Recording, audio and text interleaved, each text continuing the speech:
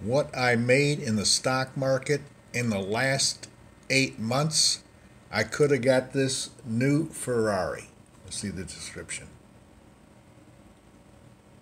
Price $360,000. Mileage 495 miles. It's got to be a new new vehicle. But uh and here's the details of the car.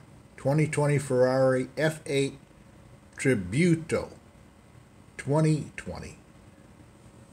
I could have bought this car and still had about $25,000 left over for gas.